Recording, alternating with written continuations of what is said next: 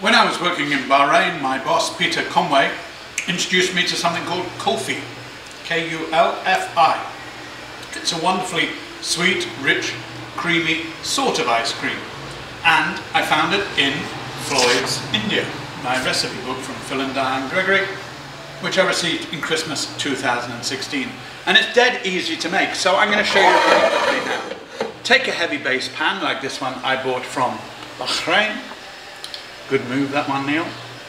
Take one litre of full cream milk and boil it.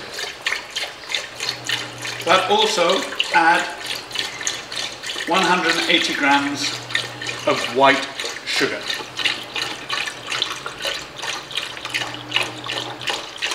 So you get the idea. It's creamy and it's sweet. Here's the sugar. Then give it a stir and bring it to the boil. And you should uh, let it boil until it's reduced by two thirds in volume and it's thick and creamy. So it's going to be about two thirds of a litre of this cold dessert. Creamy sort of ice cream.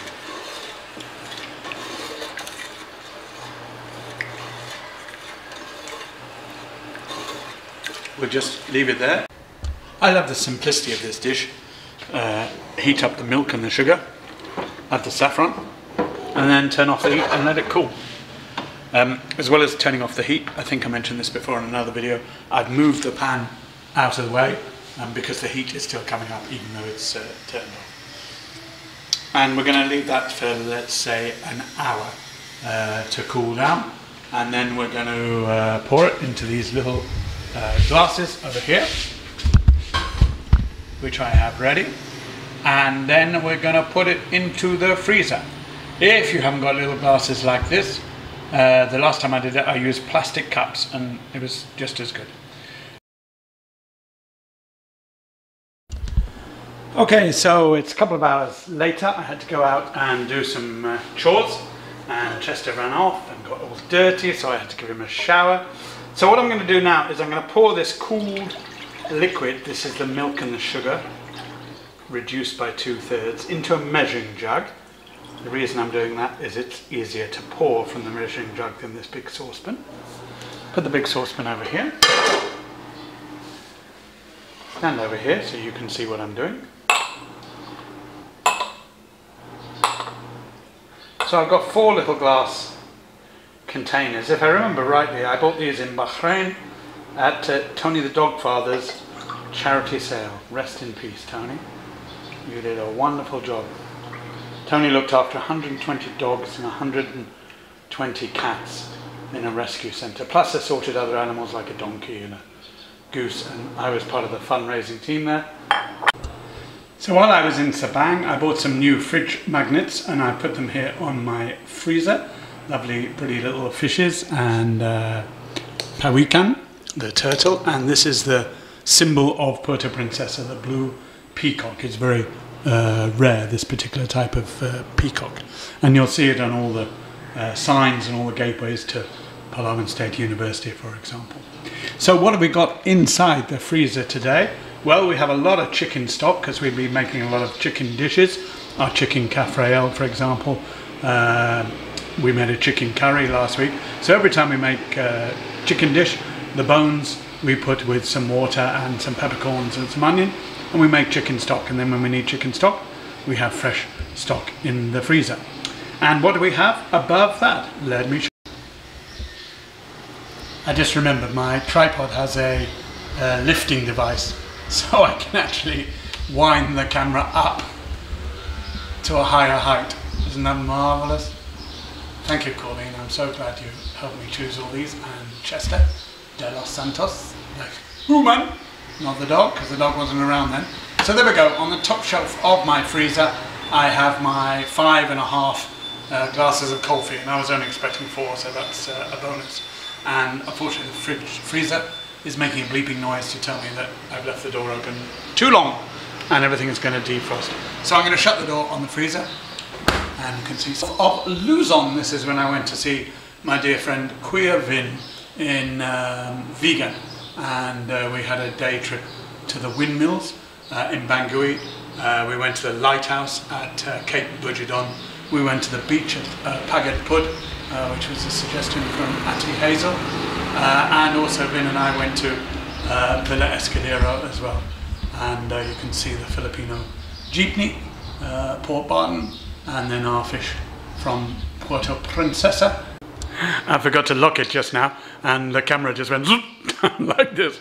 Okay, I thought you'd like to have a look at me. Don't know why, but um, you haven't seen me on camera for a little while. So this is Neil Porter, alias the British Kabayan, alias TBK Cook. So I hope you've enjoyed this series of recipes, which have come from Floyd uh, Floyd's Keith Floyd's recipe book called Floyd's India, where he did a Channel 5 series in the UK, traveling all around India. And I've certainly enjoyed making these uh, dishes. I'd uh, put the recipe book, like many others, on my shelf, hadn't used it for a little while, and then Mr. G wrote to Mr. P and said, Oi, get my recipe book out and cook from that. So thanks very much, Phil. Really appreciate your reminder. I've had a wonderful time cooking chicken cafrayo, uh, mutton stew, uh, the kulfi, uh, we made uh, chili um, and mango uh, pickle, and uh, we also no ch- uh, chili and mango chutney, tzatziki, and also uh, chicken curry murgh masala. What a lovely selection of dishes. There was one dish that went slightly wrong. I'm not going to tell you what it is. This is a test for those of you who've been watching my videos diligently. There's a big prize. It's a meal for two people in an Indian restaurant of your choice at my expense. Um, in the country where you live, you don't have to come here to Palawan to have it. And this is the question Which of the dishes that I cooked from Floyd's India went horribly wrong and why? Send your answer to thebritishkabayan at gmail.com by email. And on the 25th of December, Christmas Day, can you tell I'm making this up as I go along? I'll go through all the answers and I will choose the winner and I will be sending you the prize in the new year. So let me just repeat the question. Of all the dishes that I cooked from Floyd's India, which one went horribly wrong and why? Get writing. Coming up next, the tasting of the kulfi. What's that, Mr. G? Oh, okay. Oh, and Chester says the same as well. Okay. Thanks for that. Sorry, we just had a message come in on the uh, earpiece there from um, Mr. Gregory in the UK, and he's asked me to encourage more interaction with our viewers.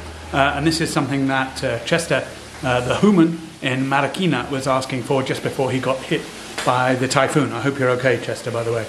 Um, so we want to have more interaction with you. We keep producing these videos, but are they what you want?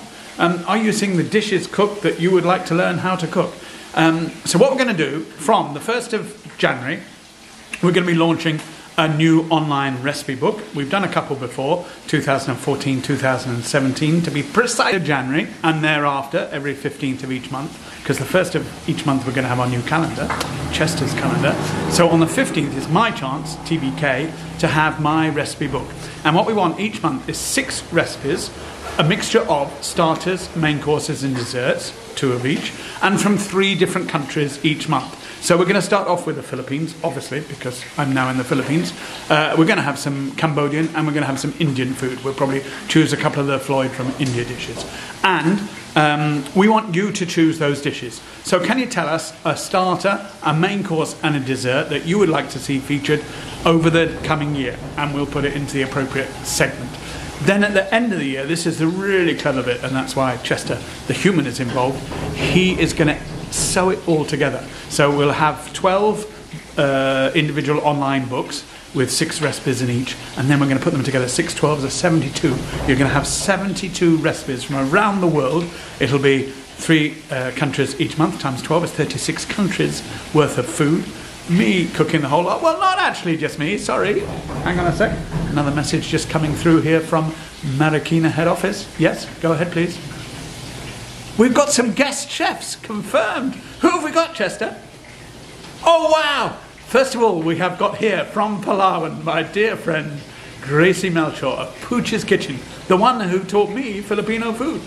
Who better to have a recipe from than Gracie? Thank you, Gracie. Who else? No! How did you manage that? Wow! We've got Chef Arnell. He is the owner uh, and uh, manager and chef and washer up and everything else at Senadama. They run the restaurant at the Microtel, going there, in fact, on that, and then we're going to do some swim and dine later on next month by the pool. Uh, and they also do a lot of functions for VIPs and uh, buffets, and you know, basically, if you're anyone in Palawan and you want a good meal, then Chef Arnell is the man. And he's going to do a banana dessert recipe just for us. Hang on a sec, there's another one? Three guest chefs, three Filipino chefs in my recipe book in one month. Wow! No! Oh, wonderful. It's our very own Mama Jam Fernandez. He runs Hope, which is a charity that I support, excuse me if I get emotional, uh, in El Nido. I've worked with Mama Jam for many years now. Uh, I sponsor one of the children through Hope, Amia, who's just turned 13 and has gone to high school. Hi, Amia, well done. She has superb results all the time, excellent. And uh, I've been supporting her since 2017. And uh, Mama Jam is a chef, pastry chef, very good pastry chef, and he sent me his contribution to a recipe book that they produced in Austria. Uh, and it was all uh, Filipinos working overseas, OFWs we call them, overseas Filipino workers, and they all contributed different recipes. And Mama Jam contributed two uh, beautiful cakes, which I have yet to cook. So I said to him, Mama Jam, would you be able to write a recipe for my book as well? And he has promised that he will. So thanks, Mama Jam. We look forward to that. So that's three guest chefs Mama Jam, uh, Chef Arnell, and Gracie in our first uh, edition. If you want to be a guest chef for a future edition, please let me know. And um, I'm dedicating this wire to Miss Andrea and to Jake. They'll know why. Okay, look forward to hearing from you. The uh, email address is the British Kabayan at gmail.com. T H E B R I T I S H, because I'm British. Kabayan, K A B A Y A N, countryman in Tagalog, because I'm now Filipino. And the British Combine at gmail.com. 62 years old, it's all going. Dementia is here. See you soon. Kita kids in Gapalai.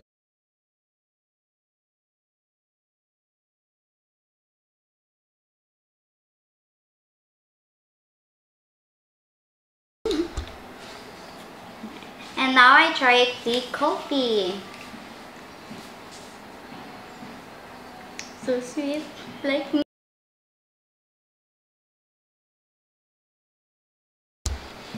So now I try coffee na gawa ni tatay. So try natin. Masarap siya, sobra. So especially sa nilagay ni tatay na ingredients na cream with sugar. Thank you.